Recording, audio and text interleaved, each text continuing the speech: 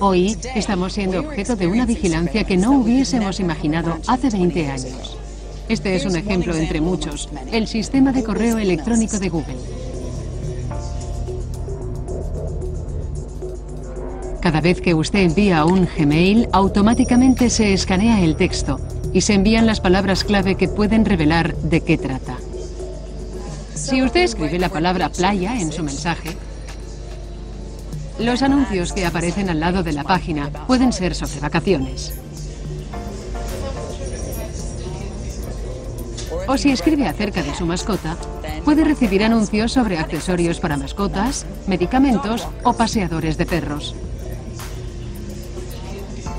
Si está planeando salir de la ciudad con sus amigos, recibirá anuncios de los lugares interesantes que puede visitar.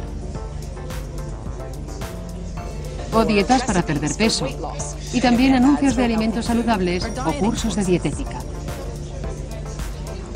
El servicio de correo electrónico es gratuito, pero las computadoras de Google están captando los contenidos de sus correos y emparejándolos con anuncios que creen pueden serle interesantes. Ese es el precio que paga usted. Google advierte de que escanea los correos, pero que Gmail respeta la privacidad y no revela los contenidos a otros. En su sitio web dicen, le hacemos saber que obtenemos información cuando usted usa nuestros productos y servicios, pero los recogemos y los utilizamos para mejorar su experiencia.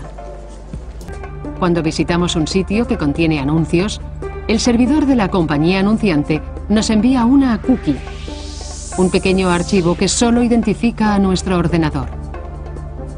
Ahora, mientras navegamos por la red, las cookies comprueban dónde vamos y registran nuestros intereses para la compañía publicitaria. Así nos envían los anuncios más adecuados. Si visitamos una página de automóviles, nos enviarán anuncios de automóviles. Si es una agencia de viajes, anuncios de viajes. Es así de sencillo.